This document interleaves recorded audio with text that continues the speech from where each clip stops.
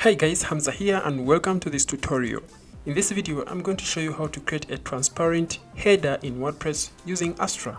At first, this is how our header is looking like, but we are going to make it sit on top of our first hero section. So to do that, you have to be logged into your WordPress website and then you are going to come to appearance, then you go to customize. Once you are into customize, come over to the header section head straight to transparent header and then boom here you have this option. Transparent header enable on complete site. You can choose that you have the transparent header only enabled on a desktop or only on the mobile device. In this case i'll enable it on both devices. You can also decide to use a different logo for the transparent header. However i'm leaving everything here at default apart from enabling the transparent header. Okay so we have our transparent header now enabled you'll see now this header move straight into this first hero section and boom there it goes. Now we have a number of options to choose from like for example enable on complete site disable on 404 or search and archive pages and then you can disable it on a blog page. The other option is to disable on the pages or disable on the posts. That goes back to what you want to achieve. Now the most important section is down here where there is the option for the colors and the background. Even when we have our transparent header, we can enable a background on that header by clicking here on the background option and we can set a background for our header, something like that. But now that won't make this a transparent header unless you're going to give it a background and then give it a very small tint, something of this sort. Now I close this over and then I can come over to the site title site title is basically going to style up this site title name. Then I just scroll a little bit down then choose a, color for our site title I'll give it a complete white okay? And then on hover I'll leave it at default without any kind of color on hover. So I'll close this over come over to the menu and the menu is basically this. So let's try now to style up our link text color I'm going to give it white and then I'll go straight to the background. I don't need to put a background on our menu but if you want a background let me just show you how that will look like something like that which I wouldn't go in for because I want a transparent menu. So I'll clear this. Then I'll come to the hover option.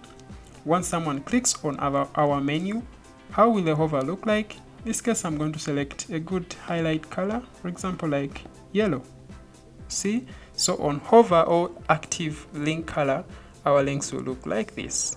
Okay which I think is a, a good color. So I'll close this over. And then for the sub menu how will our sub menus look like? You see when I hover over here we have sub menu items here. At the moment they are in yellow with a background that is white. So let me first select the background for our sub menu items I'm going to give it a white background but I give it a very small tint. So something like this. Okay let me increase a little bit. Something like this. And then we come to the link text. We give it yellow. Okay will this work? Oh let me see. Try to move around. Maybe this Mm -hmm. Okay, a little bit tricky. Let me move into this other color. Okay, I can also now increase more on our tint. Something like that. Or you can even make it a little bit more. Yeah, this looks better. And then on hover in our sub menu, we can also give it a color. We can maybe say a yellow so that when we hover over our oh this looks weird um, let me give it very different other color. And hover maybe this one. Okay this is better. So we just close this over and we are good to go. The other part is for the content and this isn't applying to any of our sections in the header. It looks like we are done. What we need to do is very simple is to hit publish. And uh, we are now going to go to our home page in a new tab and we see how that looks like. Okay, so we have our transparent header, we have our logo, our menu items, and then we also have our drop down, boom, which are the sub menu items. Everything looks nice and neat. Let's look at how this header looks on the mobile device.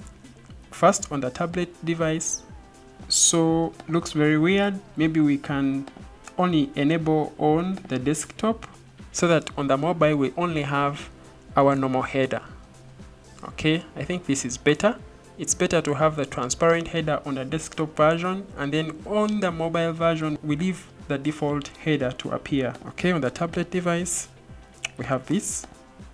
But when we go to our desktop view boom we have our transparent header right here. So guys that's how you can create a transparent header in wordpress using astra for free. Thank you so much for watching. Please do all those things like comment subscribe it's your life. I'll also be happy to know that you did all those things. And if you have any questions comments please drop them down in the comment box below. I'll be happy to read from you. Thank you so much for watching and uh, see you in the next one